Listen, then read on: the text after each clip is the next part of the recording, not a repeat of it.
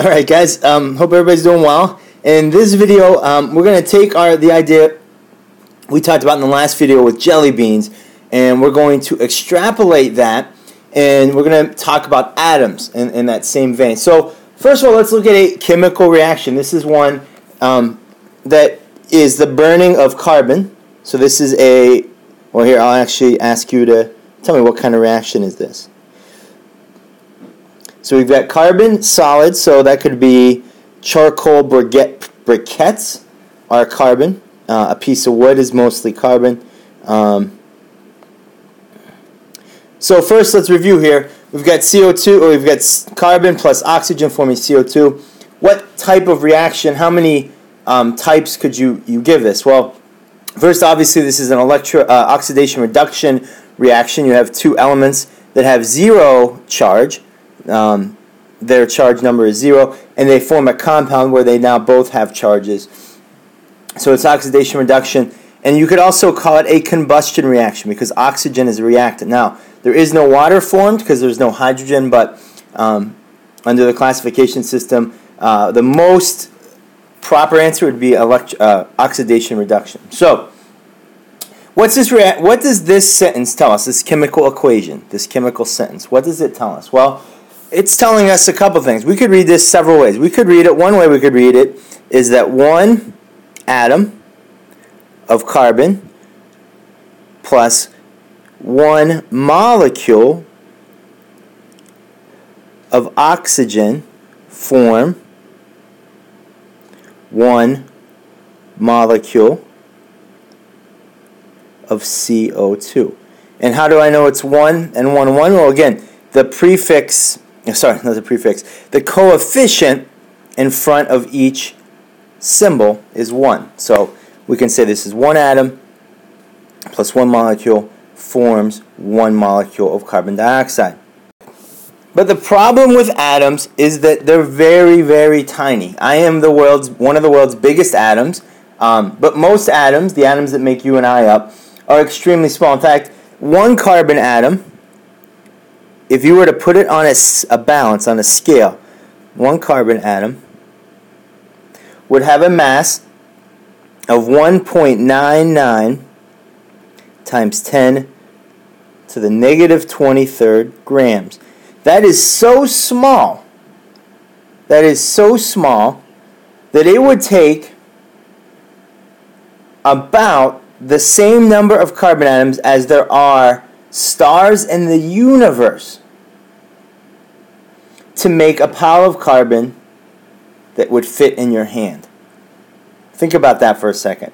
So one atom is so small that it would take about the same number as the number of stars in the universe. Not just the galaxy, the galaxy has billions of stars, and there are billions of galaxies.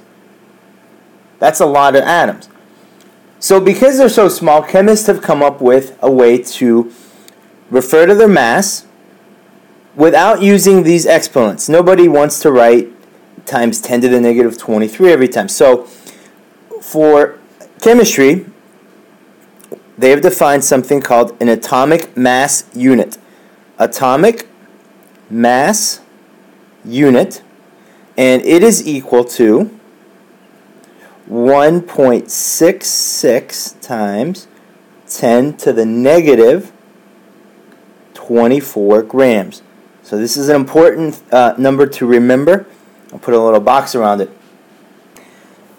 So if we were to look at a carbon atom which has a mass of 1.99, excuse me, my voice is cracking, times 10 to the negative, times 10 to the negative 23 grams. That's one carbon atom. And if we divide it by 1.66 times 10 to the negative 24 grams per AMU. This gives us an interesting number. This gives us a number 12.01 a whoops AMUs. So don't need to pluralize that. So that's what a carbon atom has a mass of.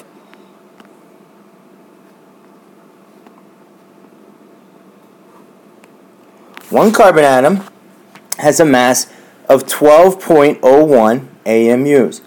And you might wonder why is it how can an atom have a mass of 12.01 why isn't it a whole number?